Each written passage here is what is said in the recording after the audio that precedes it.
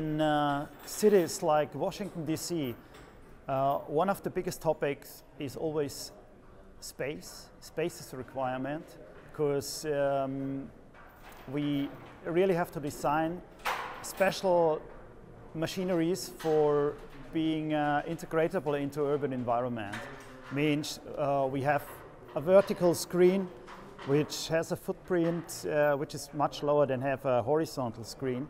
And we have to screen the wastewater before we uh, send it into the heat exchangers to extract the energy, use it for heating and cooling. And uh, at least this technology is new for, for, for our friends here in, in the United States. So this was uh, not a huge challenge, but uh, at least uh, it's a challenge, but it's everywhere the same. Um, at least the big picture is to show the possibilities for the future. There's loads of energy not used until today flowing in the sewer along every day.